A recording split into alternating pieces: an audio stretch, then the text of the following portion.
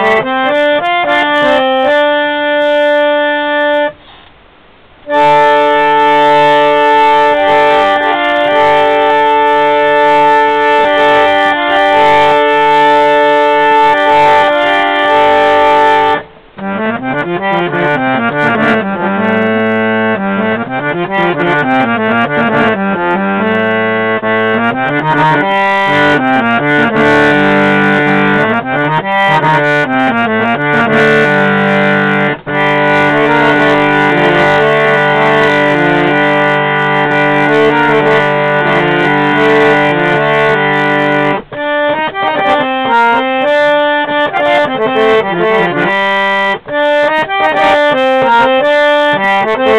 Og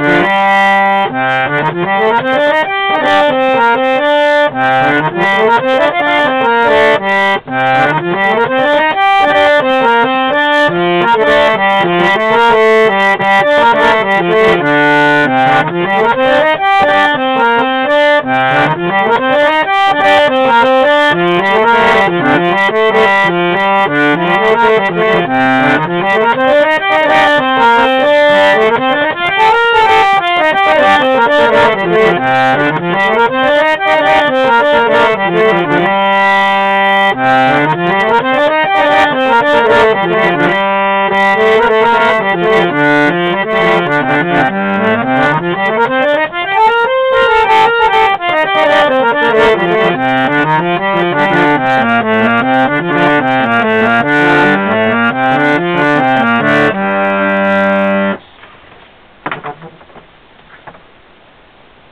er der stemmer.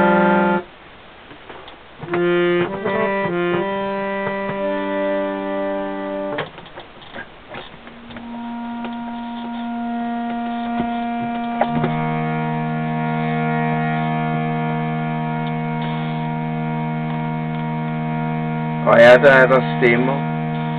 Stjernerne er så klare, når vi har elsket. Hører du min krop, den banker mod dig.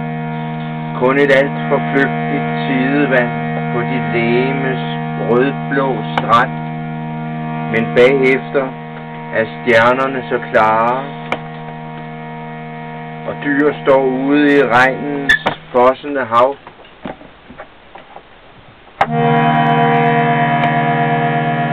Og jorden lukker sig, fordi det er sent. Der er ingen, der slipper ud. Der er ingen, der bliver tilbage. Kun nogen, der dør og dør. Der elsker og elsker sig sorte som jord.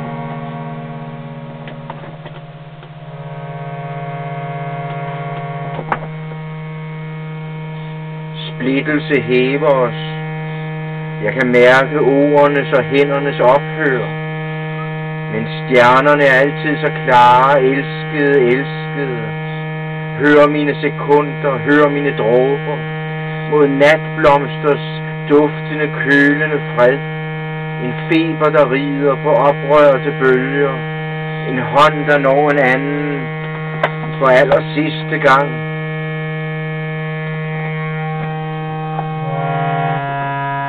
Sanser skriger sig ud af sig selv, og luften gør ophold i den knitrende regn, der stanser de elskendes løftelse til jorden, himlen. Der er et grænseland, hvor sprog bevæger sig som hastige blødende tanker. Der er et land af søgende hænder, der famler blandt våde sten, hvor fodspor drukner i linjer af sekunder, der går for at gå, og ingen drømme når frem. Ingen drømme når frem.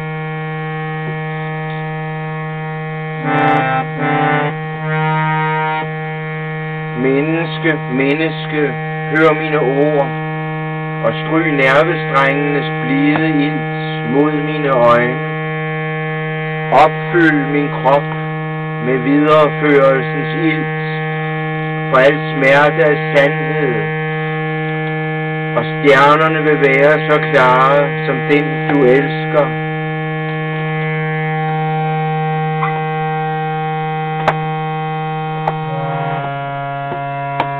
At vågne og græde, fordi jorden stadig er frosthår, at lade øjnene strejfe forgæves over din elskedes hellige skrift i kroppens himmelrum. At famle forgæves efter skyerne bag hendes lukkede øjenlåg. vide, det er sidste gang, du ser hende, før et enkelt fremstammet ord